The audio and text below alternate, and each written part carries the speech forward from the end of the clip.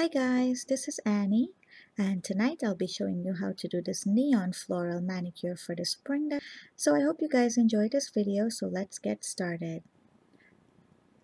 So here we have the items and tools that I will be using on tonight's video.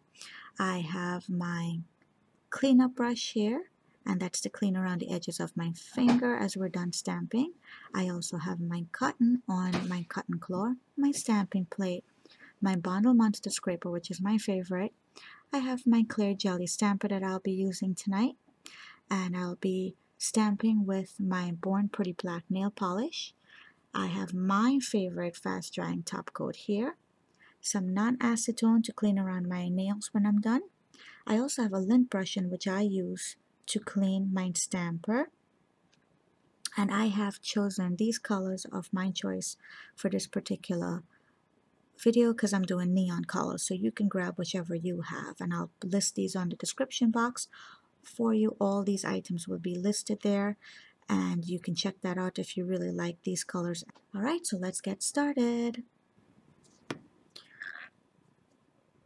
Okay guys so I have gone ahead and I have already polished three of those nails because it takes a little time to do that and I don't want you to be sitting there and watching me just polish the stamper and then stamping it. So I'll just show you how to do two of them and you can go ahead and proceed to doing the rest.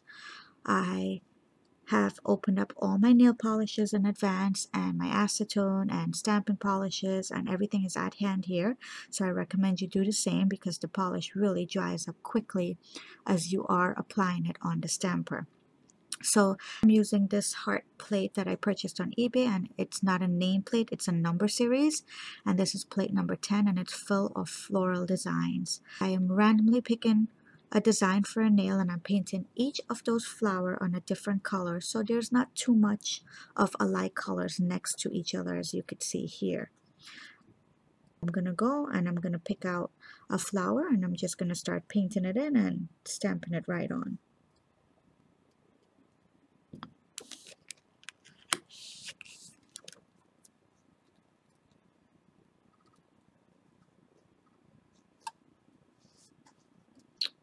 And there we have the flower and I'm just going to take a quick look to see what color is next to that one. Here I have blue so I think I'm probably going to do this main color of the flower in an orange.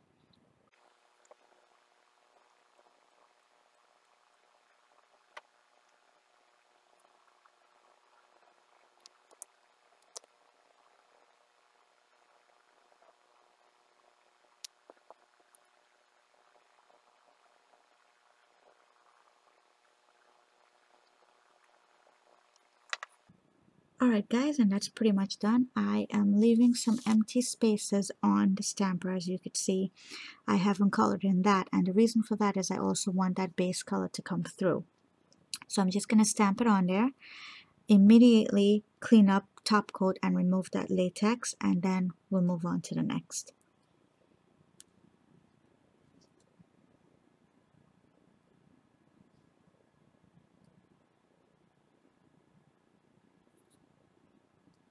I'm pressing down and rolling.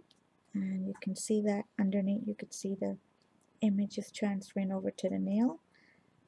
And once I pull this up there's going to be a lot of the image peeling up there. We have to clean that up. There it is. And this is what I'm talking of the excess image that's gonna come out. That's not a problem. Just tap this down make sure it's nice and secure. I'm using my little cleanup brush clean around the edges immediately. And that'll just break apart as you do that like so.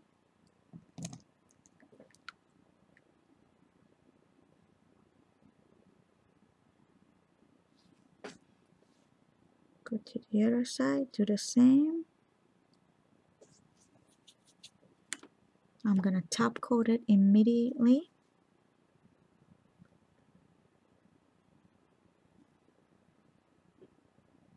Don't forget to cap the ends like I usually say.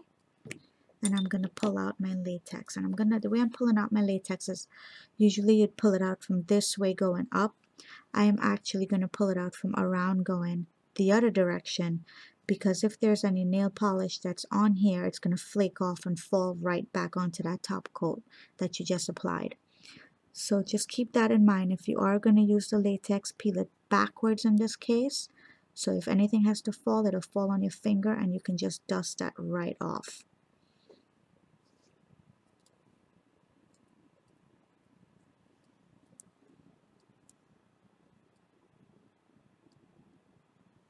And that's it. Let's do that other finger. So now we have the orange, the darker orange, the light orange, blue, and pink. So I think this one, I'm going to keep the big flower on this one, the base color. So I've already used that one. So I think for the other flower, I would choose this one right here. Why not?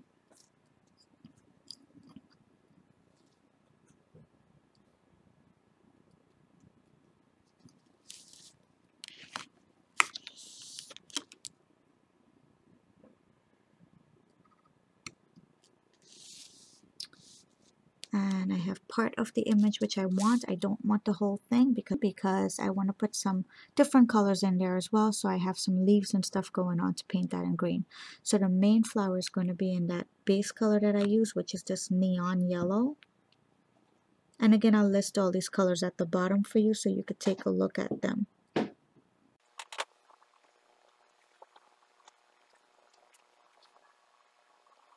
Get some orange in the middle of that flower.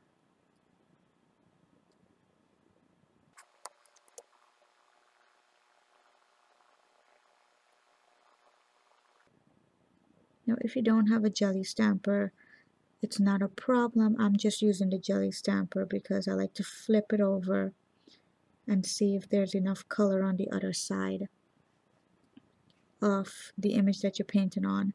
So that's why I like the stamper to do this particular reverse stamping.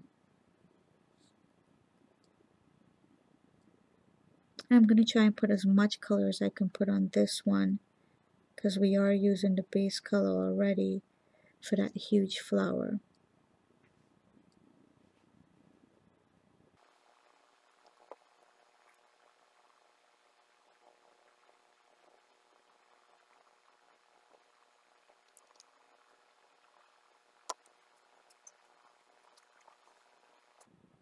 And then you can flip that over and see what it would look like. And that's why I like this particular stamper for this reverse stamping because you could actually flip it over and see what needs to be painted more.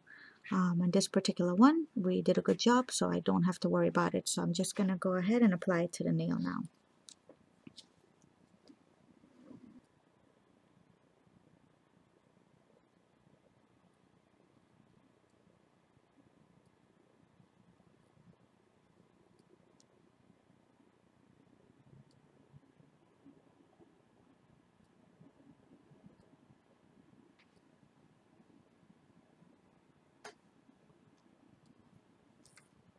and part of this one came out. So I'm just going to press that in.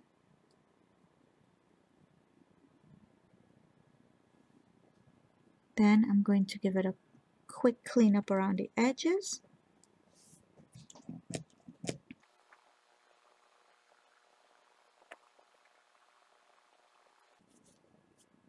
And we'll top coat it immediately